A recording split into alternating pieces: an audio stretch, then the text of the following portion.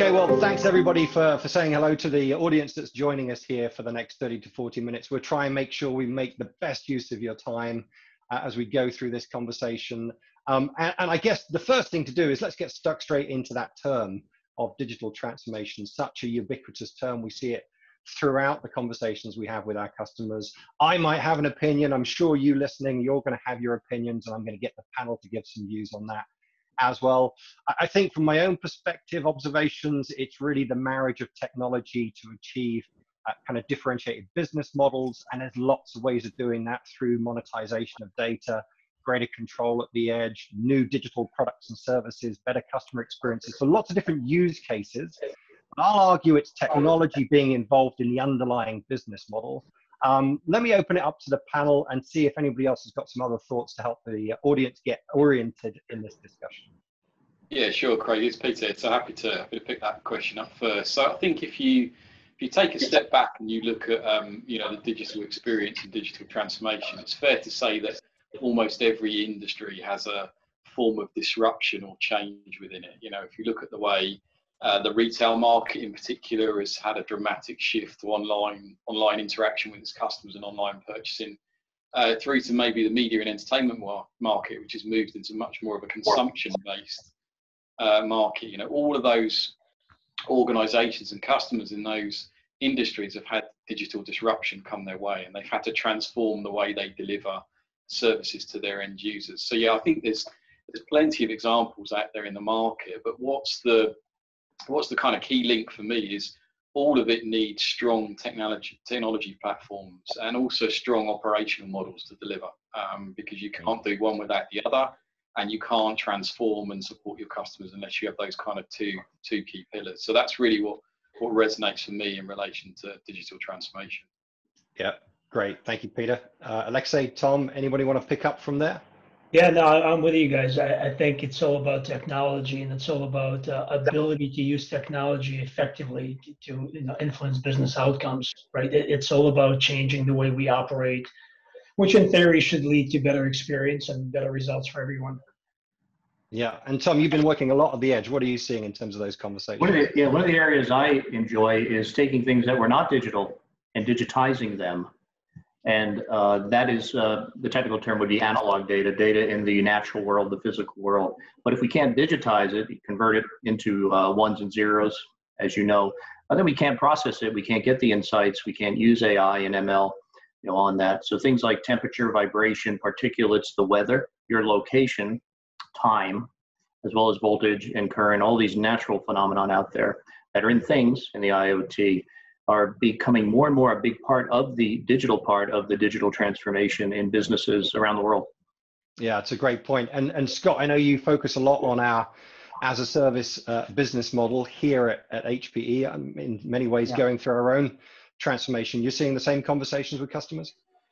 Yeah, absolutely. I think um, the other thing that I would add there is the challenge that customers have in, in addressing um, you know those changes that they need to make uh, in terms of you know from an economic perspective as well there's the uh, making those transformations that they need to do obviously mean that they incur costs and how they manage how that cost reflects in the roi is really where as a service models can come in to help them yeah i think it's absolutely true one thing i think we can all agree on is we are now talking to a much broader set of stakeholders. Is that right? In our customer bases, typically this isn't just an IT led or mm. technology. This isn't just technology pioneers. These are lines of business pioneers. These are business people looking to accelerate that next business outcome, differentiate their organization, their offerings in the market, and technologies become the enabler uh, to that. So it's completely changed who we talk to in these discussions as well. I, I feel like that's a big theme of the of the DX narrative.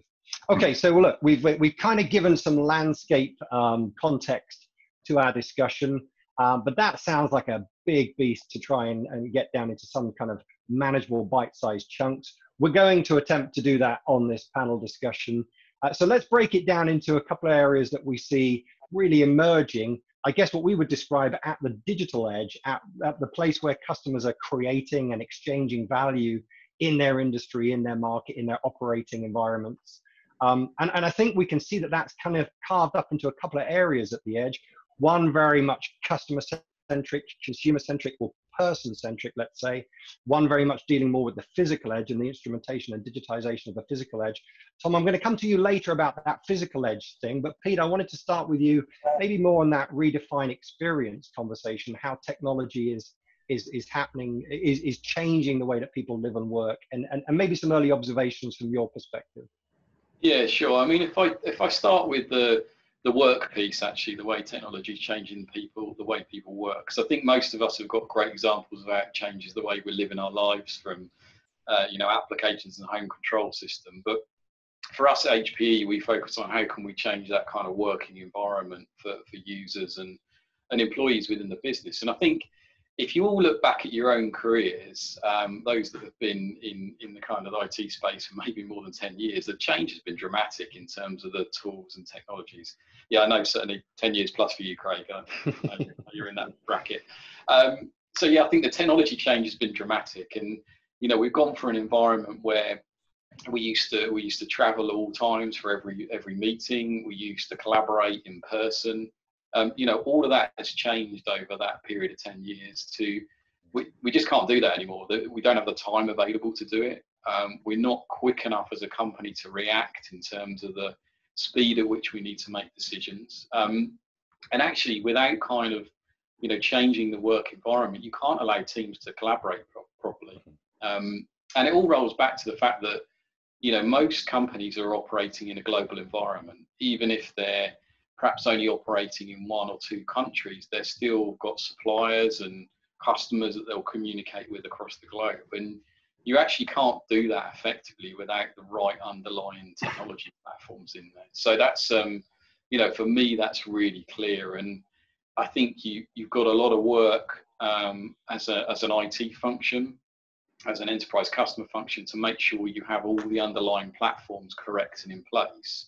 Um, and probably the other aspect is security is critical in this in this space. You know, as we as we collaborate and expand the, the, the places in which we work and the devices on which we operate, uh, that inherently increases the security risk that goes with it. So that's that's probably the biggest impact we're seeing in our customers and where they need the, the most help and advice.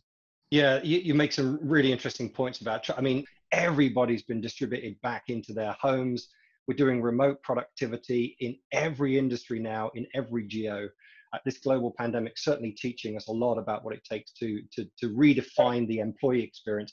I'm also interested in that external customer experience as well. I, am talking to customers now that are doubling down on their digital transformation efforts with a real focus on customer experience because we're acknowledging now that what, what we're learning about the world around us is those those organizations that have a great digital experience or have digital channels as well as the physical channels to customers they're the ones that are being able to weather this storm not just weather it actually accelerate and outpace their market and take share so that that kind of customer experience has become really central anybody else got some thoughts as well on on, on that point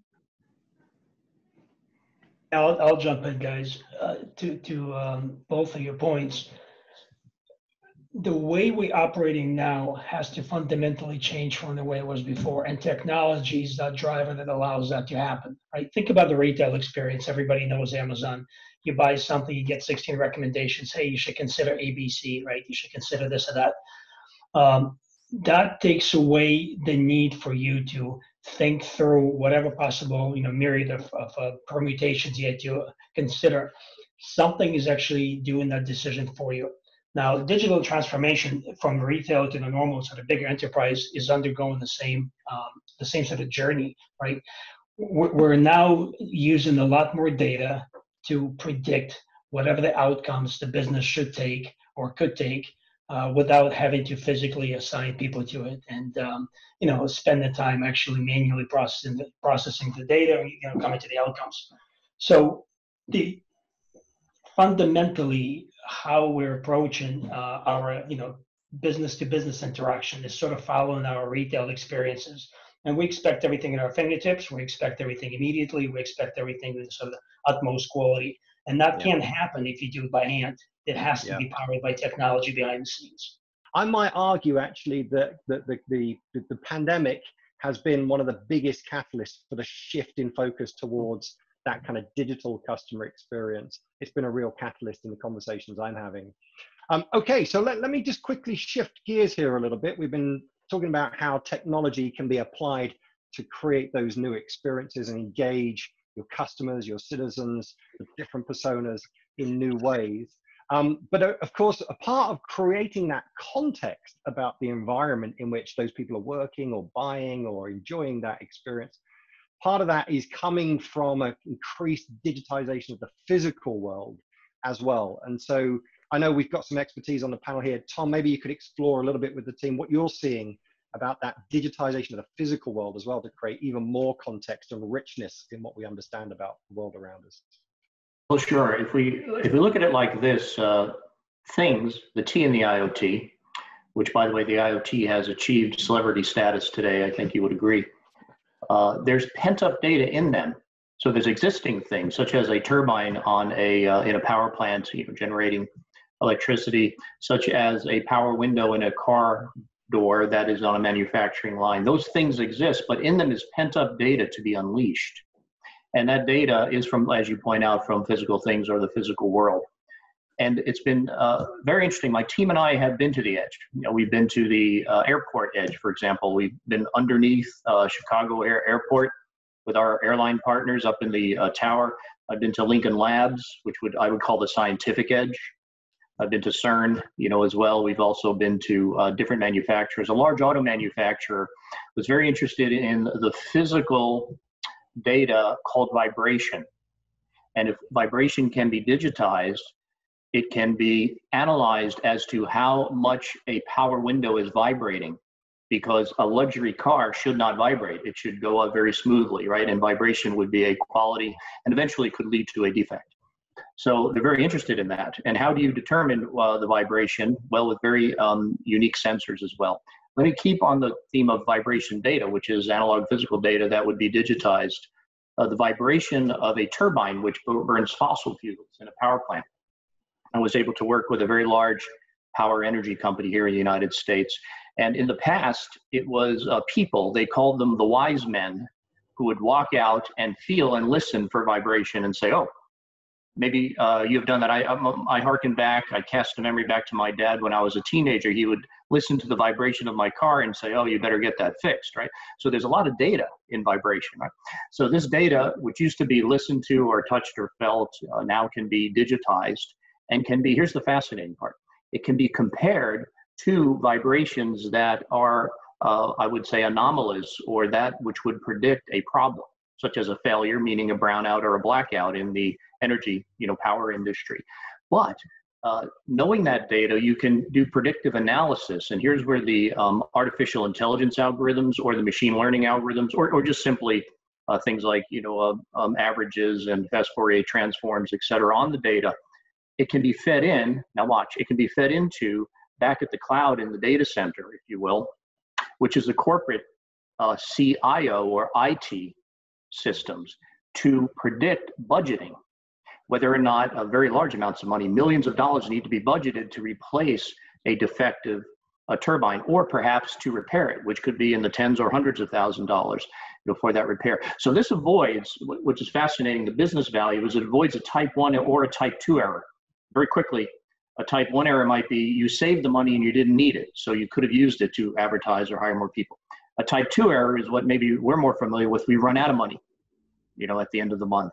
And how do you hit it right?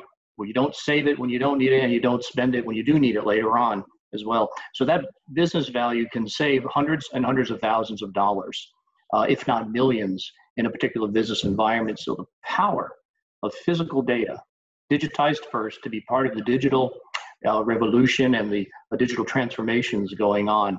Uh, the business case in, in many cases is airtight, and I've actually seen it with end users. Mm and it's so interesting to me as well. I mean, I could listen to you for hours, but that that data and that understanding, that insight is is it's not just to uh, make some back end decision points, right? You can then flow that control right back out to the edge and, and make adjustments in real time. We talk about control, but also shifting towards autonomy and those kind of use cases. It, it really feels like that whole journey, that whole part of this conversation is, is a light at the moment. It's it's the big focus area. Real quick, let me point out you hit on something very important. The, the shelf life or the value of data changes over time.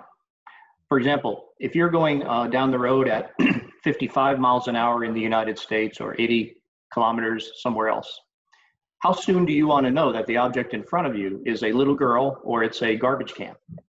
And so that data doesn't matter once you've passed it effectively, right? Unless there's a litigation and you're going back historic data. But my point is true, if a turbine is about to catch on fire, how soon would you like to know that?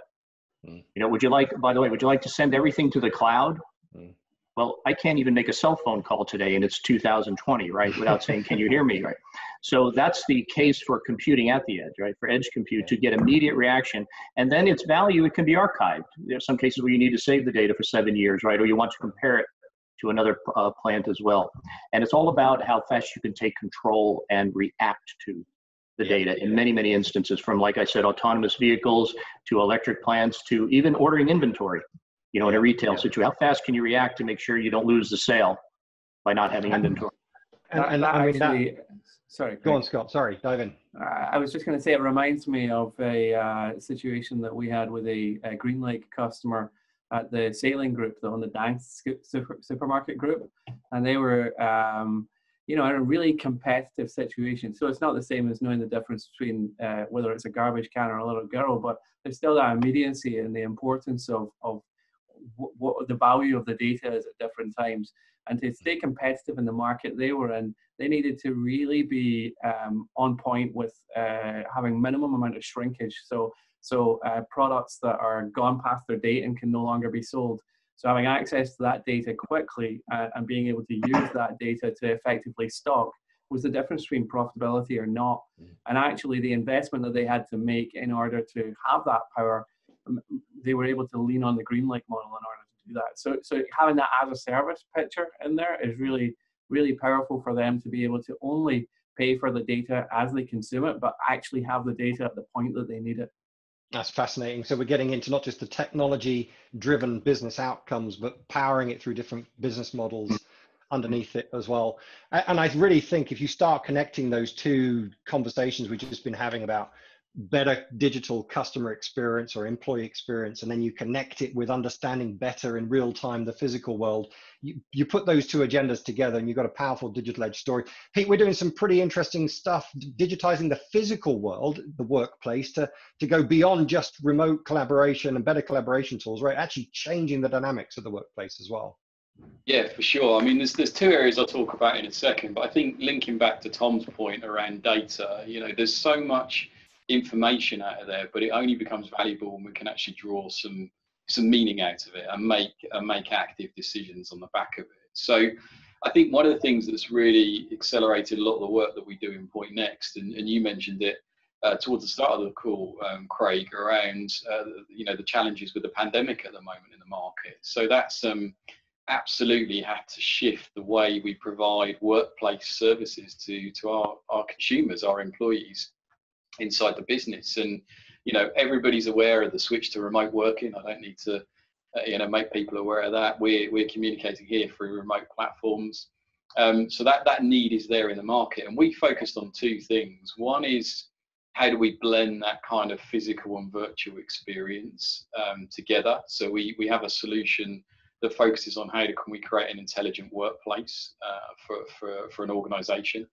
And that's simple things like providing location aware um, tracking and technology um, for employees. That's things like allow employees to uh, allow visitors to gain access to the building uh, without actually physically meeting them. Um, you know, accessing into the facility system. So we've had a we've had a lot of focus around that, and, and you might think that's less relevant now that fewer fewer of us are attending the office, but actually it's, it's really, really critical to create that personalized experience. Uh, and I'll give you one example where that intelligent workplace solution has actually delivered value is, um, you know, things like linking into facility systems in buildings so that we can control uh, the, the, the air temperature or the heating in a particular part of the building when it's unused or when it's overused. You know, we can actually tailor that experience. And you can do that by linking into location aware technology. So that's that's kind of area number one that we've we focused on in Pointnext. Um, the second thing we've started to look at is to take some of that technology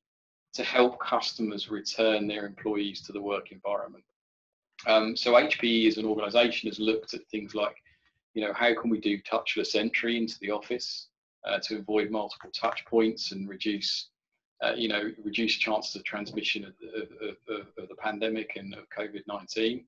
Uh, we've also looked at things like um, temperature and fever detection system, as well as social distancing. So it's how can we take, you know, some of the great technology that we have at the edge, some of our great services capability, and marry that up with the data to make make informed decisions. Um, yeah.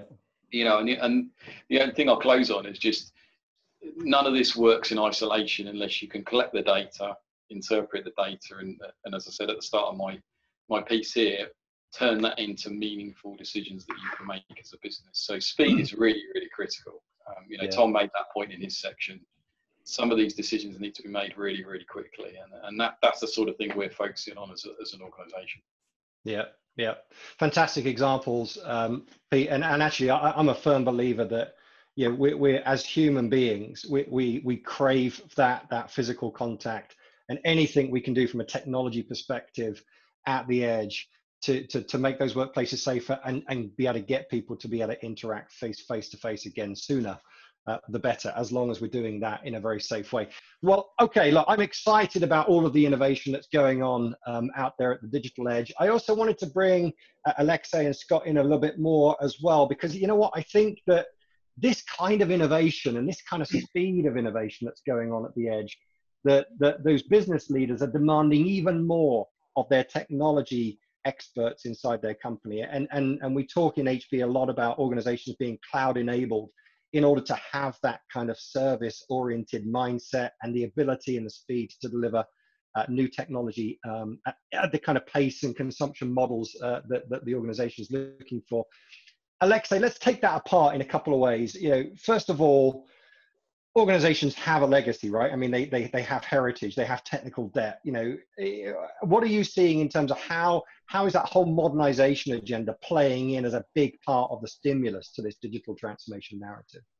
Absolutely. And just to, Craig, piggyback off of what Tom was saying, you know, ability to use data more effectively to rationalize the right set of outcomes is what's important. And the problem we have now, the most of enterprises over the years acquired some sort of technical debt. It's technical from the legacy IT infrastructure. It's technical. It's legacy from perspective of uh, you know procedural operational activities. Uh, everybody's struggling, right? Most enterprises are struggling. The budgets are tight. Everybody is asked to proverbially to do more with less. Um, and this is where cloud comes in, right? Cloud allows you to accelerate some of those decision-making capabilities and maybe become a little more effective at what you're doing. Uh, and part of that initiative of rationalizing how to get to the outcomes faster is, uh, is a decision to modernize your applications and uh, potentially move them to a different location. We all know the premise of cloud, only use what you need, right? And only pay for what you use. But the, the problem with that though, uh, back to piggyback on Tom's comment is you've got to figure out first what should go where. Right? Cloud by itself is not a blind uh, uh, destination. Let's just move everything to the cloud. What if you need to make that decision quickly to the turbine, right? Or next to the turbine quickly. So you have to figure out what you should do with your application estate and how to modernize it. If it's a web application, maybe you put it in the cloud. If it's an ERP, I don't know, maybe you keep it on-prem you know in a better sort of hyper-converged infrastructure. And if it's a split millisecond decision making, maybe you keep it next to the source of data right? So obviously, as part of Pointnext services, we offer uh, what we call a right mix approach when we help enterprises rationalize what should go where and how they should approach it. But uh, the, the fact that enterprises are undertaking this whole modernization journey just shows that they're, they're starting to think about the, the why, right? Why are we doing this? And, you know, what are the benefits from this? Yes, uh, Scott, yeah. I'm just I'm, I'm looking at you because I just I think you must be in this in this tunnel every day of the week having this discussion. What are you what are you seeing out there? Yeah, right, exactly. And I'm thinking of a particular example here that probably um, emphasizes a lot of the points that Alexei's making, and it and it really speaks to our partnership with Microsoft as well here. Um, so it's it's our customers' customers I'm thinking of in this instance. So uh, we have a, a, service provider customer called uh, Peering One Group, and uh, they were seeing exactly the challenges that Alexei was talking about with their, their customers. Um, they were loving that Azure experience, but there, there were just instances for various different reasons, whether it was around you know, um, data sovereignty or, or speed of decision making, latency issues, whatever it might be, that was holding them back from making that decision to put everything in uh, the Azure public cloud. But but they love the experience. So um, by you know, by working with us and being able to leverage the Azure Stack portfolio um, and the as a service model, they could give their customers that look and feel of the same public cloud experience, but still retaining the control of it in an on-prem environment. Yeah, I mean, it's a fantastic example. I, I, we, we keep hearing about, you know, the work we're doing around helping to find this right mix, as you were saying, Alexei. And um, I think we're beginning to understand now the industry is beginning to agree with HP that this is a hybrid outcome, whether it's all the way out there at the edge, as Tom was talking about, real-time computing, avoiding latency, whether it's on-prem, those big uh, ERP systems you were talking about, Alexei, uh, whether it's developing for for that next wave, that new generation of applications. And actually, let me just touch on that point. You know, we, we talked about kind of the the, the big heritage um, estate needing to be tackled because we need agility into that in order to be able to support all of this data that's coming in that we're looking to process in order to be able to innovate. But what about developers, Alexei? They, they, they I mean, they, they seem to be the new kingmakers uh, almost Mm-hmm. might make an argument there somewhere. There's another rising champion in that conversation, but they're so important as well, aren't they, in terms of what they're looking for? That shift away from big monolithic applications, start to break that down into a much more loosely coupled set of APIs. What are your thoughts? What are we seeing in that particular space? Absolutely, and you guys probably all uh, heard that famous Marc Andreessen's quote from back to 2011: "Software is eating the world." It certainly is. Uh, if you think about cloud is definitely an enabler, and again back to Microsoft Azure is definitely an enabler for any of the uh, accelerated ways to, to, develop software and deploy features fast. Um, if you think about the old days when we just store our you know parameters in a file and that was sort of the extent of it then the cloud came along We've got infrastructure as code now i can put the entire data center in the usb stick even that is no longer uh, the bleeding edge right we now get to the point that it's everything as code. It's, it's security as code. It's uh, you know governance and policy as code. It's you know very soon it's going to be outcomes as code. You just you type what you want and it's going to be there. Um, and the whole concept there is the acceleration of code is what allows the business to deliver the value faster, right? If you do things manually, you just never get it done. Just in, you know, there's not enough time in the world. But if you can script it, if you can automate it, if you can chunk it up, that that what makes it uh, sort of be more productive. And part, and you probably heard this too. Obviously, everybody knows it. That the next big revolution is the containers. So part of the ability to automating everything and writing the code. Look, you can deploy it faster. You can put it in, in small chunks of code, which can protect, secure, you know, monitor, uh, govern, you know, et cetera, et cetera, et cetera. So we're now literally in the middle of what I think it's a new IT revolution around containers. Uh, obviously, HP came out with um, our HP Ezmeral container platform uh, based on the Kubernetes, you know, open uh, open container architecture. Uh, Azure has its own, you know, Azure Container Service and Kubernetes Service. So there's a number of tools and capabilities that uh, developers have, you know, in, in front of them to help them accelerate their development. Absolutely. Yeah, and, and of course, you know, just to link these two things. Uh, sorry, Tom, dive in. Well, uh, may I make a quick point on container mania? And uh, the uh, beauty of a container, many know, has to do with uh, its simplicity, as Alexei said, combined with its portability, ease of failover, and its cloud friendliness. You know, and what I wanted to add to that is, although those attributes are being exploited as uh, we have with our Ezmeral container platform, software. There's work going on in HPE labs that are handling non-container friendly applications, which uh, can be called stateful as opposed to stateless, meaning they rely on and they have dependencies on that. And our ability to be able to use some of these new technologies to create persistent storage mm. and the uh, preservation of the statefulness allows the benefits of the container uh, and cloud friendliness, but to be able to use the legacy applications or the stateful applications. So uh, this is a discussion of, uh, I would say Alexei addressed more of the greenfield and where the future is going, and indeed it is. And I wanted to just add the adjunct that the brownfield, meaning being able to uh, take care of those applications. Many are OT applications that are very stateful is something that we're offering. So it's not a matter of one or the other. You have to throw out or containerize all your apps or create new ones. But rather, we have ways in the future uh, coming very quickly uh, to accommodate that. Best of both worlds. Incremental mm-hmm. innovation on existing technologies always wins. Yeah, fantastic. And that's what we want to do. That's a great update. Thank you, Tom. A great interjection on that on that point that Alexei was making as well. And, and I sort of see that as being completely deployable at the edge as well. We're not just talking here about hyperscales and, and, and, big four-wall data centers, right? That portability is increasingly shifting. We talk about cloud everywhere, don't we, inside H? Well, this is fascinating, and I know we don't have time, but this whole idea about um, how do you bring a cloud experience to the edge uh, has there are uh, we've identified 14 different challenges in the edge versus the data center. And if I call a cloud a, a cloud is a data center that nobody's supposed to know where it is. If we have that definition, then there are 14 different uh, issues that we deal with when we're in a retail store, a manufacturing line, a crop field, a military, you know, battlefield, the edge, you know, if you will. And handling containers out there and getting that experience because you can't really separate the cloud experience from as a service. Yeah, absolutely. And we are pioneering as a service at the edge for uh, the compute storage, of course, uh, um, Wi-Fi, as well as uh, the OT applications that are out there. Fascinating uh, challenge, and it's hard but we uh, well, embrace complexity. I, I, tell you what, I'm going to say if we if we get good following for this for this video, they'll have us back to start exploring those 14 cases at the edge as well. We might put that into another one. All right, okay. let me let me quickly start to bring some shape to this. So, um, what I'm hearing everybody talk about, whether it's at the edge in terms of using technology drive experiences or insight and control at the physical edge, whether it's about using uh, technology to to build a more adaptive uh, and, and agile supply chain everybody seems to be talking about some core common themes. Like one of them is intelligence.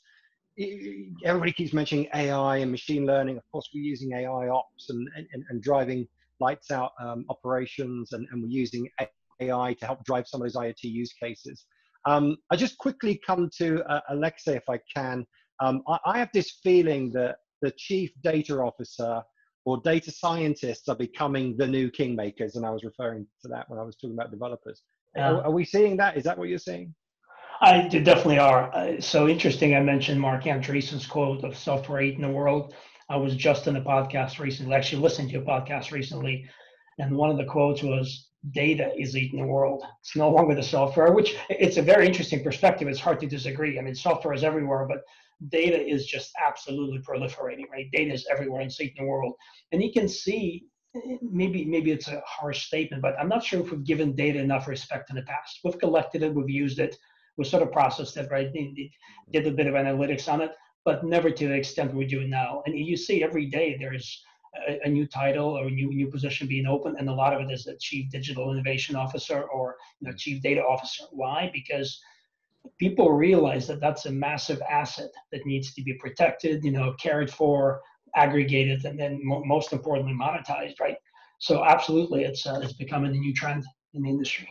And and the monetization aspect, uh, Tom, it appears to me a lot of those use cases in terms of monetizing that that level of insight and intelligence is happening at the edge as well. Right? I mean, that's really where the use cases are driving that that that, that conversation forward, right?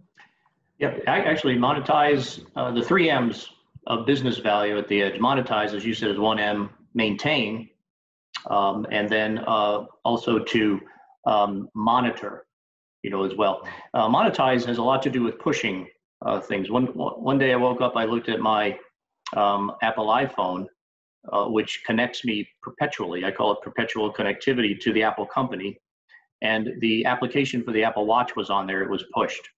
And so that's a monetization effort with being connected at the edge. This is a consumer retail example that we're talking about. So what did I do? What do you think I did? I, I pressed on it and by the way, the people there were so beautiful. Um, the men had great abs, and everybody was so happy because they had the watch. So the inference was, Dr. Tom, you already have the app. Why don't you just get the watch? You know, take that next step. that monetization in the consumer sense with perpetual connectivity, but all the way to um, who doesn't want to predict the future? Right. You know, we, and we mentioned that as well, right? With artificial intelligence algorithms as well. You know, who will I marry? Will I be healthy? Will I make enough money? When will Dr. Tom stop talking? Everybody wants to know, you know, the future. as well. And we've been enamored with it, right, since since ancient times with crystal balls and astrology, right, and tarot cards, palm reading, the list goes on. But when you can predict business, right, and you're con- from all the way from the condition of your equipment, and that's data. And anyone who's studied um, statistics or data analytics knows the more samples you have, the more data you have, yeah. the higher the probability of your outcome, your predicted outcome will be. And that's why, uh, like I, I, like to say, if if you like data, you're going to love the edge because the, well, data I, is the biggest. Yeah. I, I, couldn't agree more. I, am I'm, I'm going to just keep going through what I think is common and core to everything you guys are, are saying here. Um, Scott, it appears to me that a lot of conversations actually impact the, the customer's underlying operating model, right? So this isn't just a technology conversation. Ultimately, the value is only realized when we change the, the, the processes and, and we change the way people work as well. Um, I know a lot of customers are coming to us around that as a service conversation because that's a key enabler for them to be able to pivot into more innovative um, types of conversations with their business. W- what are you seeing? You're at that cold face all the time.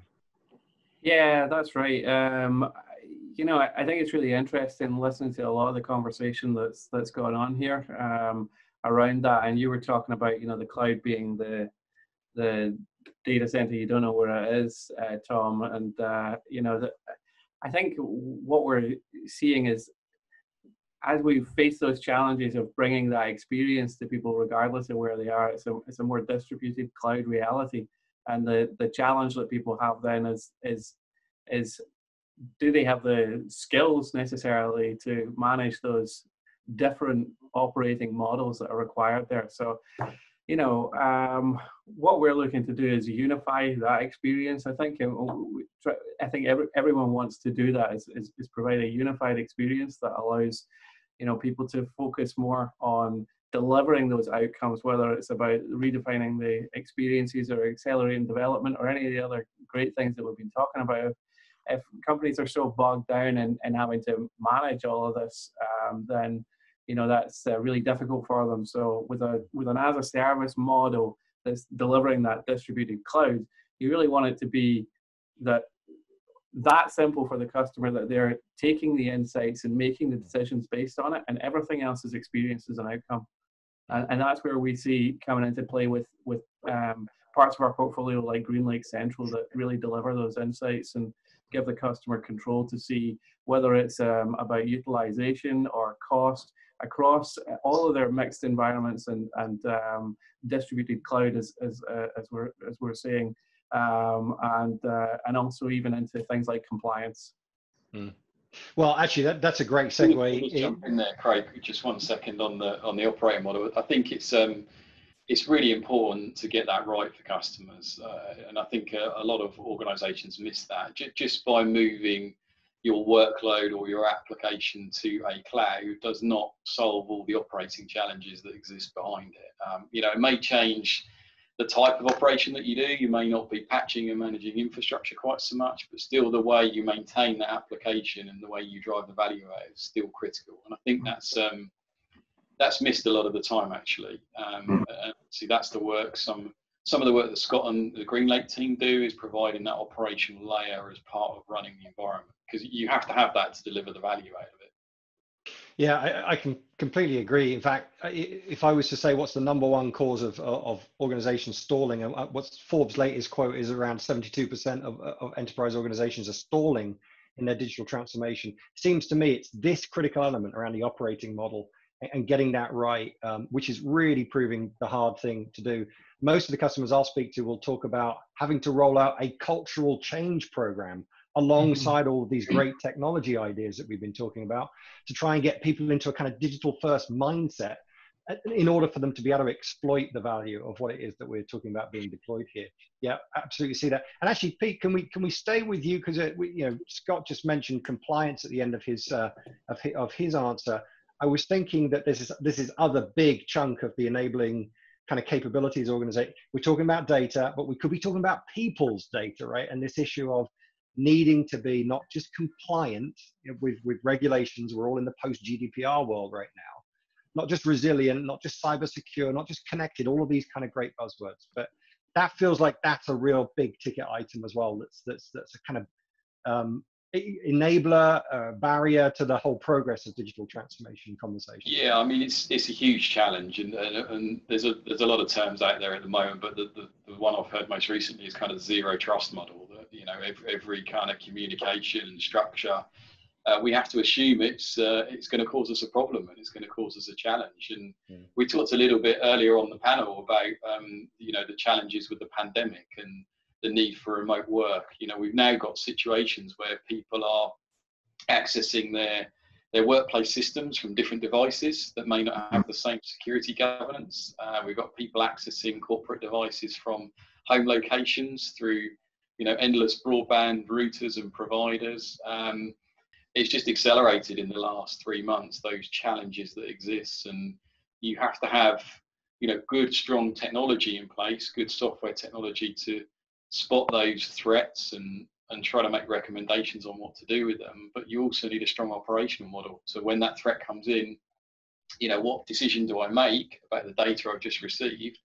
And also how do I learn from it and and don't do the same thing again? Um, so yeah, that, that's that's the pressure that exists there in the market and it's a it's a balance isn't it? Because the old security angle was well if it's if it's firewalled and protected and air gapped then it's ultimately secure but it's ultimately useless at the same time because nobody can get to it. And i it sort of feels like in this digital era we're talking about opening up to much broader ecosystems competition and cooperation going on. And and, and you know maybe this this opening up of data and, and and using platforms to surface new innovation uh, through that cooperation is really key. And also, Tom, it, it, strikes me that you know with 5G and Wi-Fi 6 and pervasive connectivity, we could be connecting literally everything to this huge mesh of of connected things and data. This kind of zero trust conversation, this this this this security angle at the edge, must be huge in the conversations you have too.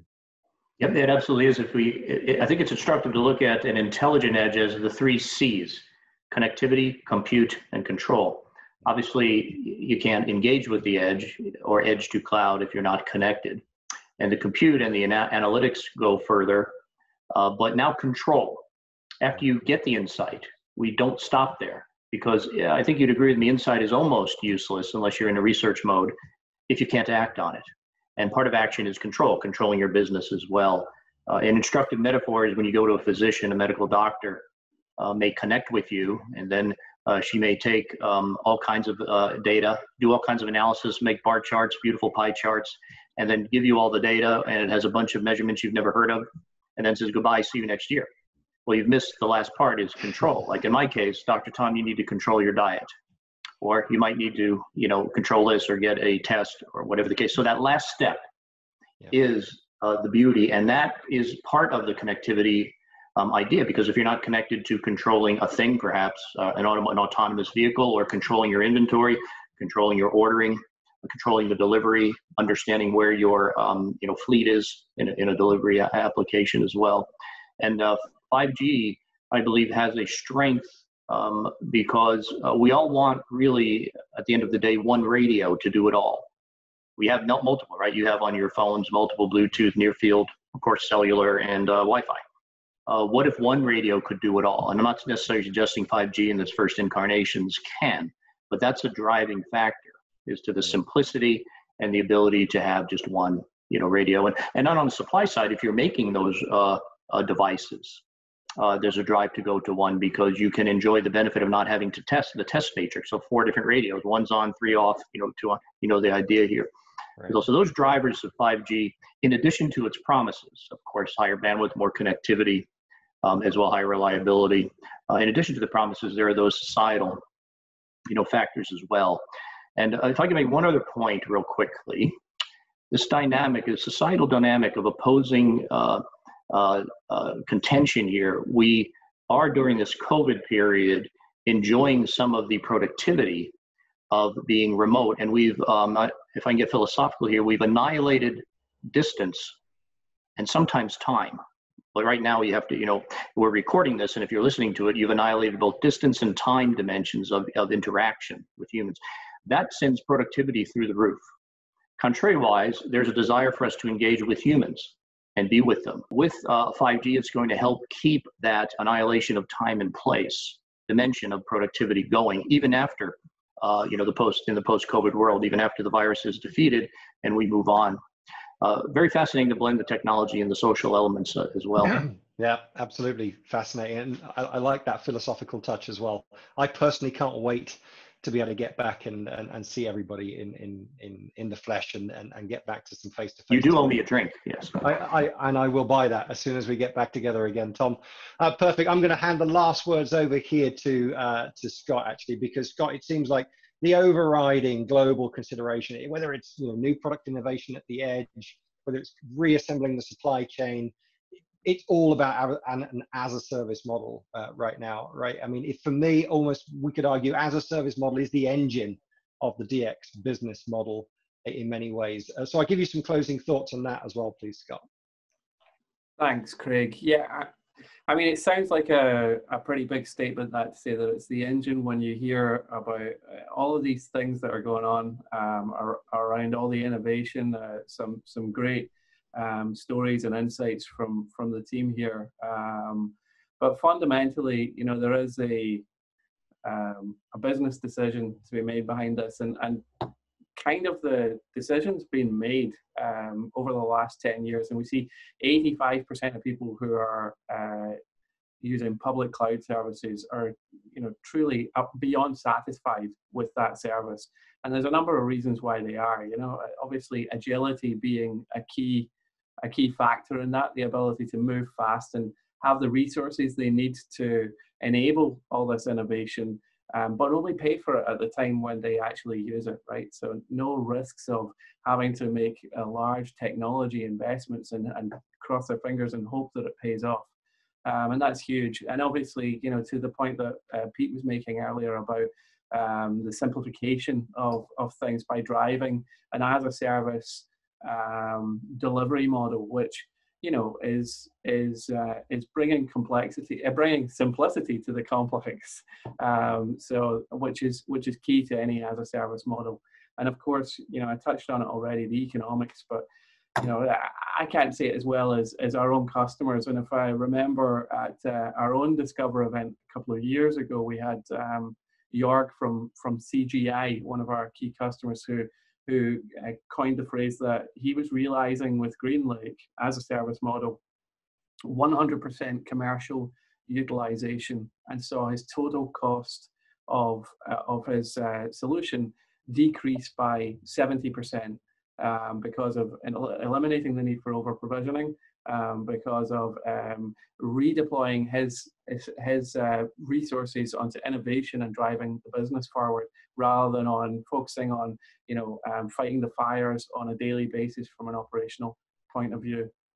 And um, yeah so I, I, would agree with you you know i think it's the engine that drives it. It's um, and it's it's fundamental to it. And what we're offering with uh, with hpe's greenlake offer i think on on top of those other factors that i mentioned there is that control so gaining insights through our tool sets like greenlake central including our analytics portal that, that talks about the detail I mentioned earlier on utilization, capacity planning, uh, driving insights on, on um, compliance and, and across the operational model. It gives a single pane of glass. And we're even you know, allowing to select what the next workload is that needs addressed and, and everything will just happen for the customer. They're really consuming outcomes. Scott, so thank you so much. Yes, enabler, enabler for these innovators. Yeah, thank you so much for giving us the, the, the, the, the cutout there to the end of the discussion. Okay, well, I want to thank everybody for joining this call, for all of my panel guests that have hopefully kept you entertained for the last 30, 40 minutes, uh, exploring the world of DX. If you want to know more, please visit HPE's virtual booth. Uh, and with that, thank you very much for your time, and we'll speak to you all soon.